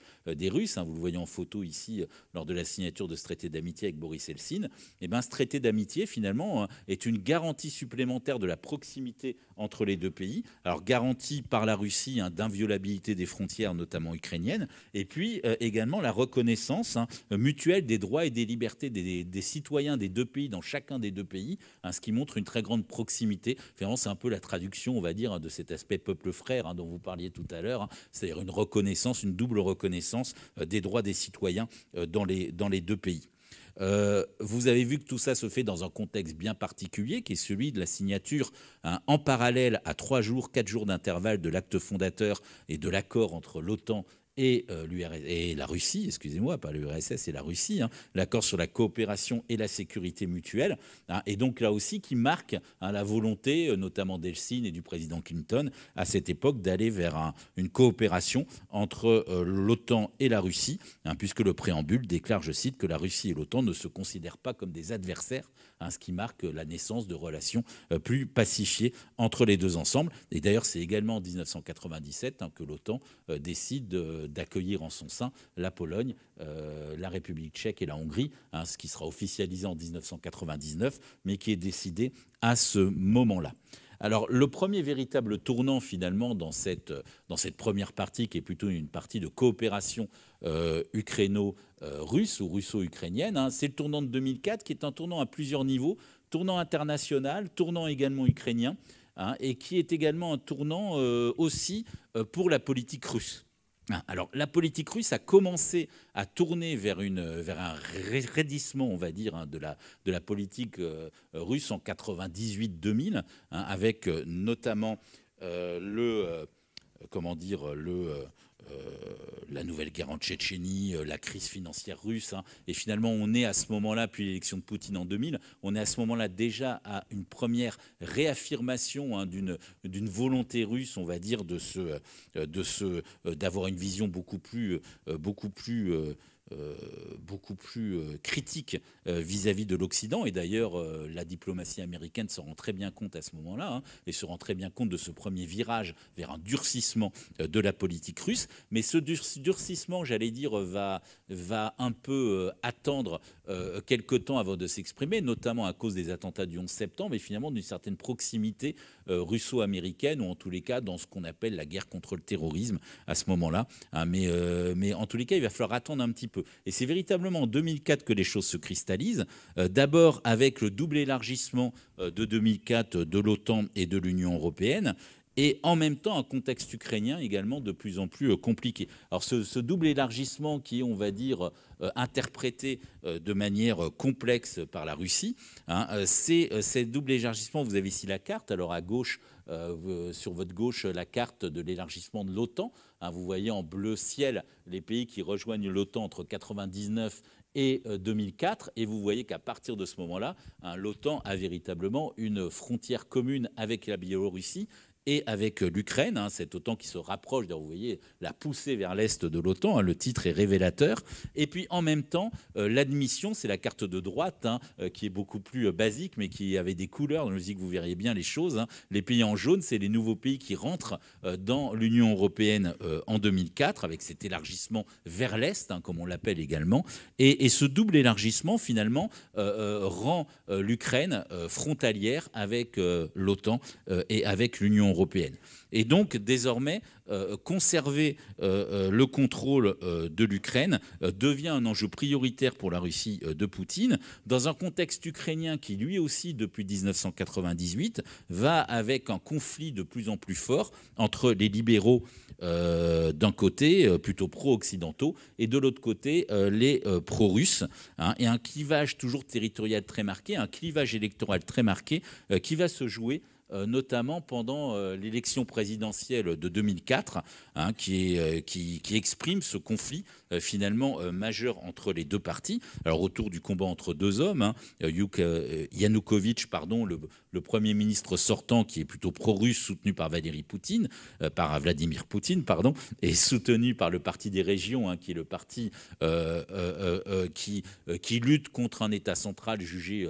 trop, trop ukrainien, ou en tous les cas allant vers trop libéral. Et puis de l'autre côté, Viktor Yushchenko, que vous avez ici en photo lors de la Révolution orange avec euh, Yulia Timochenko, euh, sa partenaire à l'époque durant les élections, euh, qui est donc, lui, libéral, pro-occidental, plutôt soutenu par les États-Unis, par l'Union européenne. Alors l'élection se passe très mal, mais elle marque hein, ce clivage extrêmement fort entre ces deux Ukraines. Tout d'abord, dans un premier temps, c'est Yanukovych qui est élu avec 49,42% des voix, une élection très contestée, marquée par beaucoup de fraudes dénoncées par les Ukrainiens et par les Occidentaux, ce qui conduit à une contestation euh, massive qu'on a appelée la révolution orange. Hein. Euh, la photo est d'ailleurs prise dans un des cortèges de cette révolution, qui est une révolution pacifique, qui est un mouvement de contestation qui veut annuler ces résultats des élections dites ou jugées truquées. Et finalement, euh, à la suite d'un accord politique entre les deux parties, sous la pression également très forte des Occidentaux et des Européens, eh bien, le second tour va être annulé et il va y avoir une sorte de second second tour, un troisième tour, hein, le 26 décembre 2004, qui voit cette fois-ci la victoire de Yushchenko du camp libéral, avec cette fois-ci un score plus net de 51,99%, mais également contesté, euh, bien entendu, euh, par son adversaire. Alors c'est vécu comme un véritable revers pour euh, Poutine et pour le camp pro-russe. Poutine qui s'était engagé hein, personnellement dans la campagne hein, en se rendant deux fois euh, sur le terrain euh, et, dans un clivage très marqué entre les deux parties du territoire. Alors j'ai pas ici mis de carte, hein, mais on va jusqu'à des résultats dans la partie de Lviv, dans la partie la plus occidentale de l'Ukraine, des résultats pour Yushchenko qui sont à plus de 92% dans les oblasts de, de l'Ouest et des résultats pro Yanukovych dans les oblasts du Donbass Notamment de Louhansk et de Donetsk, qui sont aussi à plus de 93%. Donc on a véritablement un, clivage électoral vraiment extrêmement marqué et certainement renforcé par quelques tripatouillages et autres et, autres et autres euh, euh, comment dire euh, trafic de tout style, il faut bien le dire. Alors, euh, donc vous voyez que le clivage est très net, mais bien entendu, comme l'a dit tout à l'heure euh, Stanislas Jansson, et sans rentrer dans les détails, à partir de 2005, on a une réorientation beaucoup plus nette euh, du gouvernement ukrainien vers l'Occident, avec des demandes notamment d'adhésion ou de préadhésion à l'OTAN, avec des demandes de négociation d'un accord de libre-échange avec l'Union européenne, avec également diverses mesures de loi, notamment mémorielles dont vous a parlé Stanislas Jansson sont euh, tout à l'heure, et en même temps, cette évolution est, j'allais dire, renforcée également par, ou plutôt ternie hein, par, des, par des problématiques de, de corruption, de contestation. Hein. et le gouvernement libéral, d'abord donc dirigé par le président, qui est amoindri dans ses pouvoirs par rapport à son prédécesseur à cause d'une loi constitutionnelle, mais je passe les détails. Et puis ensuite, les dissensions entre lui et sa première ministre, Timoshenko, hein, vont conduire l'Ukraine et vont conduire à un affaiblissement du camp libéral, j'allais dire au pire moment pour lui, hein, au moment où justement euh, il ne faudrait pas euh, qu'il euh, se, se divise. Parce que c'est le pire moment, parce qu'en parallèle, en 2007-2008, on assiste au deuxième raidissement hein, de la politique extérieure euh, russe, hein, une deuxième étape, parce que vous savez que c'est en 2007 que Poutine, d'ailleurs dans un discours dont on a répété euh, souvent dernièrement l'origine à Munich, hein, euh, fait une déclaration où il juge désormais publiquement que la position de l'OTAN est une position offensive, que toute nouvelle tentative d'élargissement, donc suivez mon regard vers les deux potentiels candidats qui sont l'Ukraine et la Géorgie, est désormais euh, vécu euh, comme une provocation et comme une sorte de ligne rouge à, ne, pas franchir. Et c'est d'ailleurs après ces avertissements russes hein, qu'en avril 2008, au sommet de l'OTAN, la demande de préadhésion de l'Ukraine va être rejetée. alors, elle est soutenue par les Américains et par les Britanniques, mais elle est rejetée notamment à cause des préventions hein, face aux réactions potentielles de Vladimir Poutine, et puis à cause également de la, la, du, veto hein, finalement mis par les Français et les Allemands, hein, qui, qui veulent aller vers, vers, vers plus, plus ou en tous les cas tenter de rassurer Poutine et de ne pas aller dans, la, dans la provocation. Mais je vous rappelle que les années 2008-2009 sont des années extrêmement tendues, où la politique russe devient beaucoup plus offensive, avec le conflit en Géorgie en 2008, hein. et puis en 2009, le fameux conflit sur le gaz, hein, dont vous avez peut-être encore quelques souvenirs, hein, et sur le prix du gaz, qui met à mal les finances euh, de l'État euh, ukrainien, et qui vise finalement à faire s'écrouler euh, le nouveau régime par, une, par une offensive très vaste, qui vise finalement à, créer une, une, crise financière massive en Ukraine. Et d'ailleurs, cette tactique de Poutine paye, puisqu'en 2010, aux élections présidentielles, c'est Yanukovych qui l'emporte, hein, avec une toute petite majorité, 48,95 contre 45,47 à Timoshenko, hein, euh, l'ancienne euh, première ministre. Le président d'ailleurs est balayé dès le premier tour, ce qui montre son impopularité. Hein, mais dans une élection qui, là d'ailleurs, est jugée correcte par les observateurs internationaux, ou en tous les cas par rapport à la précédente, de meilleure euh, tenue. Alors, vous voyez donc que forcément, à partir de ce moment-là, on va aller directement vers le tournant suivant, Hein, qui est 2014, euh, hein, et bien sûr quelque chose euh, dont vous vous souvenez beaucoup, hein, euh, qui est la révolution de Maïdan, la révolution ukrainienne, et comme on vous l'a dit tout à l'heure, la réaction russe. Hein, mais il faut bien voir que cette révolution, ce tournant hein, de 2014, est dû là encore à une succession euh, d'erreurs, de difficultés euh, politiques hein, euh, par un Yanukovych qui est jugé très tôt autoritaire, qui renforce les pouvoirs du président, qui revient sur la réforme constitutionnelle de 2004, qui revient sur une partie des lois mémorielles dont on a parlé tout à l'heure, qui se rapproche de la Russie, parce qu'il est favorable à un rapprochement avec la Russie, et qui se conduit également de manière extrêmement abrupte, brutale et autoritaire, notamment avec Timoshenko, hein, qui est emprisonné euh, pour, euh, pour d'obscures raisons de corruption euh, multiples et donc, et donc ce qui provoque hein, d'ailleurs une très forte réaction des Occidentaux et des Européens hein, qui condamnent le pouvoir ukrainien pour ces, ces, atteintes aux droits de l'homme et cet emprisonnement de Timoshenko. Alors, c'est donc en 2013 que les choses se sont nouées, hein, quand finalement euh, euh, les négociations sur l'accord de libre-échange avec euh, l'Union européenne arrivent à leur terme, quand il faut faire un choix finalement hein, pour, pour Yanukovych entre la signature de cet accord et un nouveau lien avec la Russie, notamment pour mettre fin euh, à la crise financière et euh, la Russie agitant toujours hein, le problème du gaz et notamment la facture gazière euh, comme, comme argument massu. Et donc Yanukovych, en novembre 2013, fait le choix de la Russie, annonce qu'il ne va pas ratifier l'accord de coopération et de libre-échange avec l'Union européenne, et c'est ce qui déclenche hein, la, la, contestation massive euh, des Ukrainiens avec des grandes manifestations pro-européennes, dont on appelle ça Euromaïdan. Hein, vous avez ici euh, une photo de ces manifestations et qui tournent au désastre en bout de trois mois de, contestation avec une répression policière euh, massive de l'Ukraine hein, et de l'État ukrainien et qui conduit au final à une véritable révolution et, et à une déposition du président qui s'enfuit pas n'importe où en Russie Hein, le 21 février avec la Rada hein, qui, constate cette vacance du pouvoir et qui euh, convoque de nouvelles élections présidentielles avec un nouveau euh, gouvernement. Alors, euh, bien entendu, c'est cette, cette, cette, révolution qui conduit directement à la réaction militaire russe, puisque bon, il s'agit d'une réaction militaire déguisée, hein, qui est une réaction militaire russe. Alors vous connaissez bien ces images hein, de ces soldats euh, masqués hein, sans, euh, euh, leur marque ou leur marquage sur l'uniforme russe. Hein, euh, qui, euh, qui donc euh, font suite à ce, à ce départ de Yanukovych. Vous voyez aussitôt, hein, le 20 février 2014, on est vraiment en pleine révolution. Hein, les troupes russes donc s'emparent de la Crimée, donc troupes déguisées. on agit encore de manière prudente.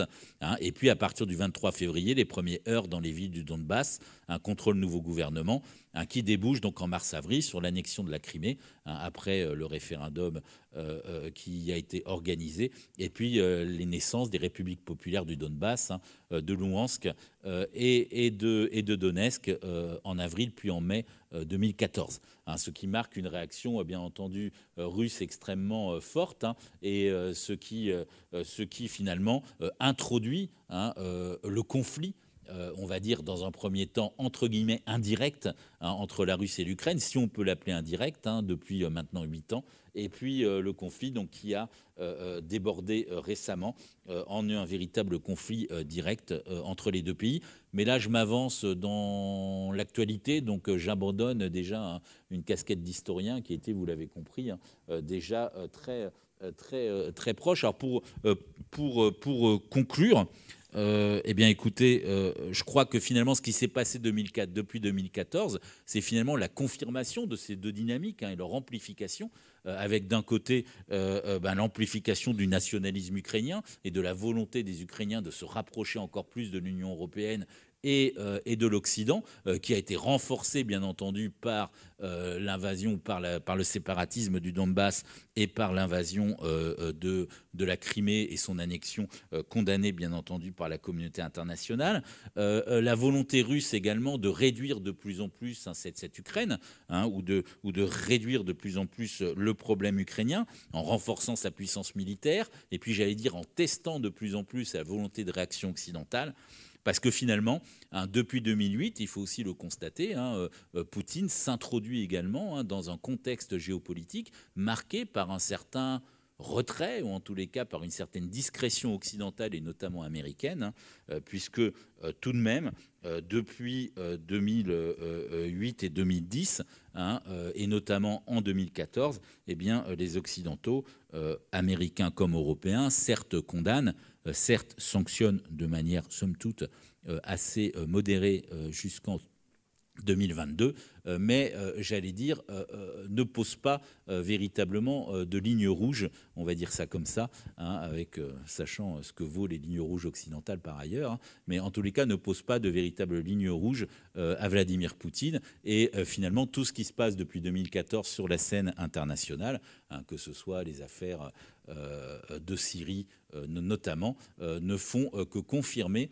le pouvoir russe hein, dans cette conviction hein, d'une faiblesse occidentale et d'une non-protection de l'Ukraine par les Occidentaux. Voilà, j'en termine là parce que j'ai dépassé mon temps. Merci.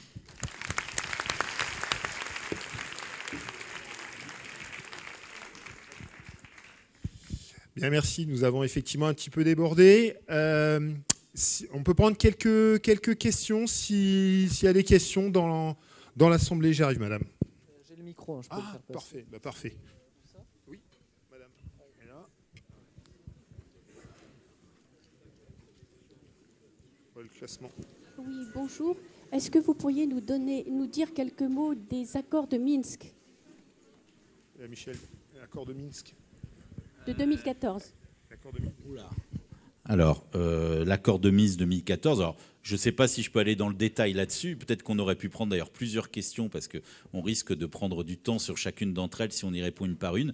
Mais euh, oui, les accords de Minsk, c'est en fait la tentative euh, mise en place notamment par les Européens hein, et par Angela Merkel et et euh, François Hollande, à ce moment-là, hein, de, trouver une solution diplomatique hein, au problème euh, du séparatisme au Donbass et d'essayer de trouver une solution diplomatique en rapprochant, en tentant de rapprocher euh, les positions de l'Ukraine d'un côté et, de, la Russie de l'autre, hein, dans une sorte de dialogue à quatre pour y parvenir et avec un processus qui s'est largement enlisé Hein, au fur et à mesure devant euh, la mauvaise volonté, euh, j'allais dire quasiment de chaque côté, hein, de faire vivre ce dialogue et de faire vivre et de trouver une véritable solution au conflit. Donc euh, oui, c'est une tentative finalement de résolution hein, et de résolution entre l'Europe, l'Ukraine et la Russie, qui marque d'ailleurs là aussi un certain retrait des Américains hein, face à la question, et l'attitude américaine étant de se dire hein, que déjà depuis une dizaine d'années, que finalement les Européens doivent trouver par eux-mêmes une, solution à ces, problèmes, ce qui marque aussi une certaine forme euh, de désengagement euh, américain et de réorientation de la politique américaine vers l'Asie-Pacifique. Merci. Euh, je me demandais par rapport euh, aux contraintes économiques qui sont en train d'être mise en place. Il y a eu récemment un discours du, du, Premier ministre de, russe, il me semble, qui disait, en gros, un ministre, du coup, c'était Bruno Le Maire, qui disait en somme qu'on va faire des contraintes économiques, mais que mener une guerre économique, c'est un peu les termes qui étaient utilisés par Bruno Le Maire, pouvait mener à une guerre totale. Souvent, c'est ce qui se passait. Est-ce qu'en tant qu'historien, euh, vous avez ce rapport de causalité que vous observez à plusieurs reprises dans l'histoire? Ou est-ce que c'est euh, du sens commun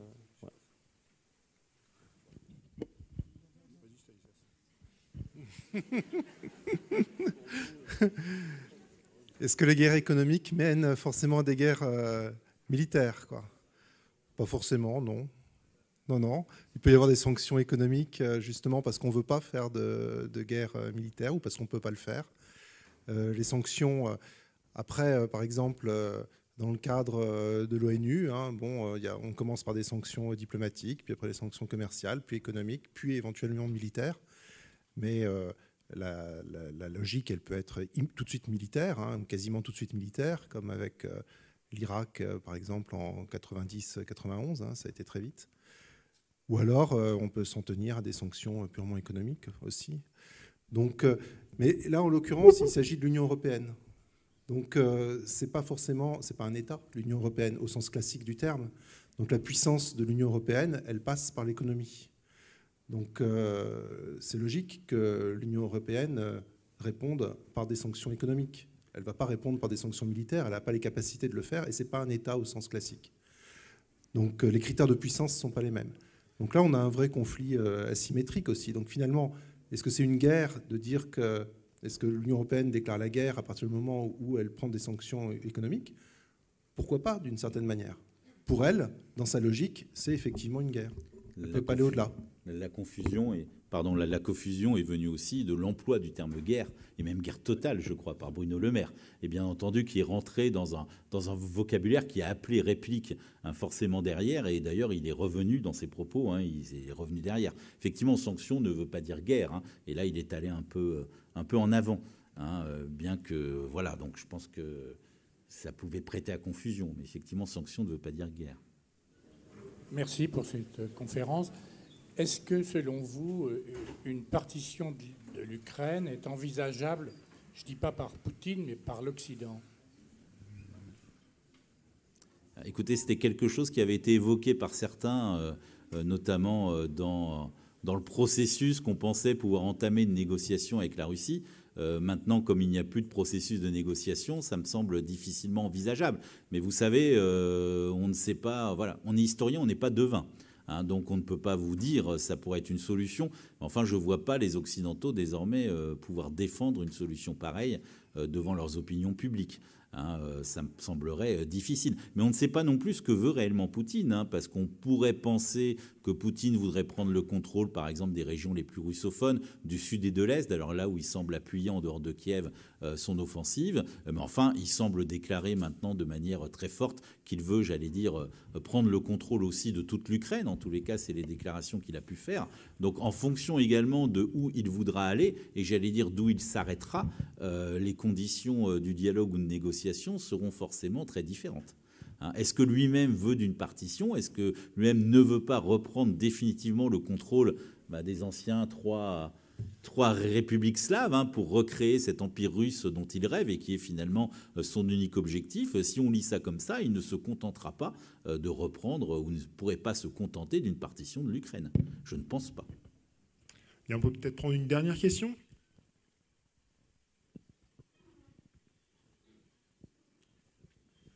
Bonjour.